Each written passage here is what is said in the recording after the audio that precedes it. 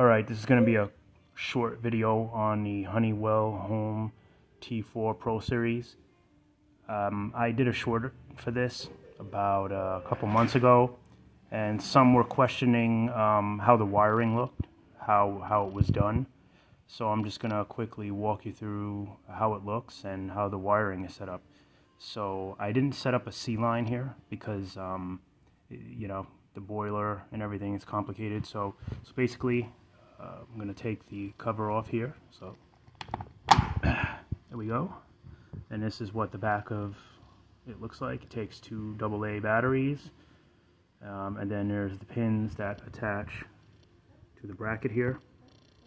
We're going to, as you can see, um, I had some previous uh, screws here. I had a previous device. It was actually the old uh, Honeywell dial.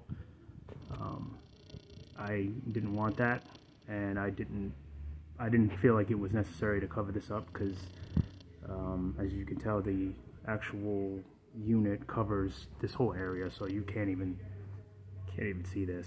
Um, so basically, you just pull this down here, and this is basically what we have here. It is super easy. You're just connecting the red and the white um, from your existing um, thermometer and that that's really it. I mean it's just as simple as that. Um, you're just putting in the three screws. I put some heavy duty screws and I pushed it in really tight so it doesn't move. Um, and it looks you know to me it looks relatively clean so there you go uh, let's put that back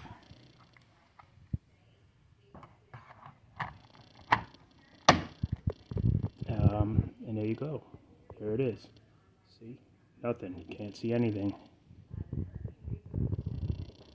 Not bad, right? Alright guys, thanks for watching. Uh, be sure to like and, and subscribe if you haven't already. I do make videos on random things, so you never know what I'm going to make a video on. Um, and thank you for watching wherever you are around the world. Um, take care and stay safe. Thank you. Bye.